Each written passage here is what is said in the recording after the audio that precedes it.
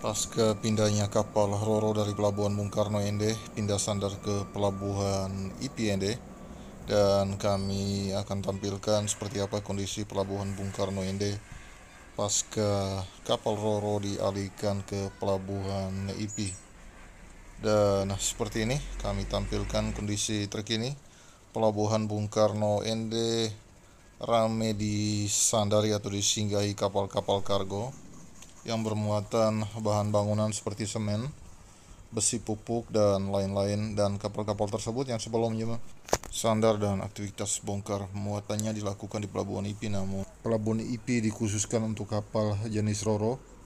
yang saat ini dilayani KM Niki Sejahtera, KM Dharma Rucitra 8 dan pada pekan ini minggu ini ada juga KM Niki Mila Utama yang akan masuk di Pelabuhan IP dan untuk pelabuhan eh, Ende sendiri atau pelabuhan Bung Karno di sisi daratnya juga truk-truk yang turun kapal di pelabuhan IP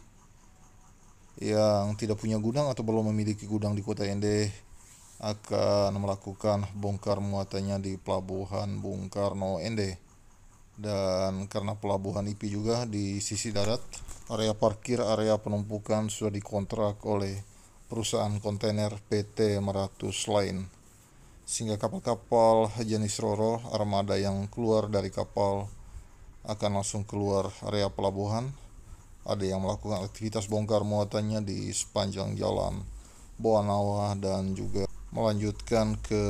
Pelabuhan Bung Karno untuk melakukan bongkar muatan di Pelabuhan Bung Karno Ende. Jadi aktivitas Pelabuhan Bung Karno tidak mati